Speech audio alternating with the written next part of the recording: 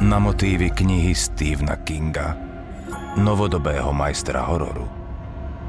Prichádza do kín filmové spracovanie jeho najkultovejšieho diela –